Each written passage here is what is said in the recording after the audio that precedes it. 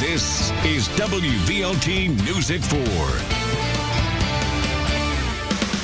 The co-founder of Clayton Homes and Clayton Automotive, Joe Clayton, has died in a helicopter crash. Glad you're here for WVLT News at 4. I'm Ted Hall. Hope you're doing all right.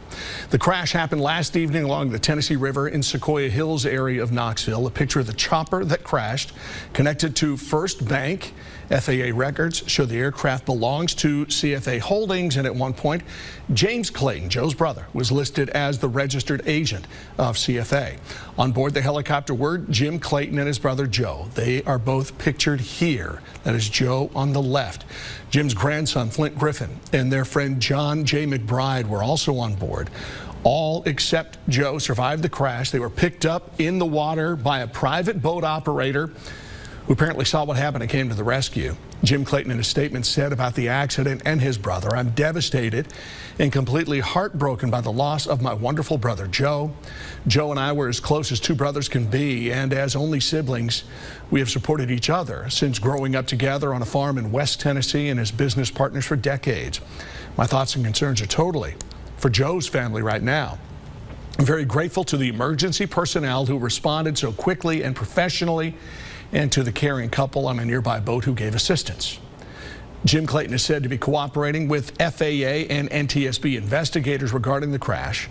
The crashed helicopter will be taken out of the water and taken to a secure site to be looked over by an investigative team. The full crash investigation could take a year or two. All right, we're going to go out to our source. She's now live where that helicopter crashed into the Tennessee River to find out more of what you have found out today, Abby. Yes, Ted, this was also where that crash was, and you can see Jim Clayton's home is just over my shoulder here on the other side of the river. His neighbors tell me that he was a frequent flyer of that helicopter. We still do not know who was flying that helicopter at the time of the crash. His neighbors say that they started to hear some loud noises and they started to see that helicopter flying pretty low to the river there right before that crash, and then they saw some debris floating in the water. They also saw three heads resurface. It was a very scary sight for people out here last night.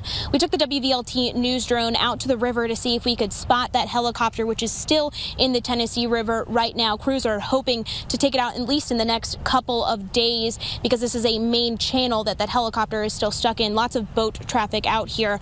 Robert Crawford, one of the neighbors in the Sequoia Hills neighborhood, says he's actually a pilot and works on on crash recovery. He says he's never seen a crash like this one. This is one of the worst he's seen since he was in the service a helicopter very low over the water and I realized he was too low to clear the fence where he was landing and then he seemed to hesitate went into the water and with a second the whole helicopter disappeared and I saw the blades fly to about a thousand pieces.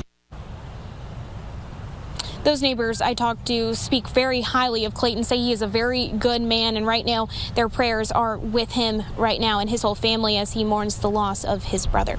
Reporting in Knoxville, Abby Kousouris, WVLT News. Abby, thank you. And again, it's not clear who was piloting the helicopter. Jim Clayton does hold a pilot's license, according to information filed with federal authorities. We'll gather more information for you about this.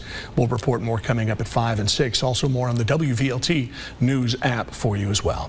All right, Governor Bill Lee now addressing coronavirus.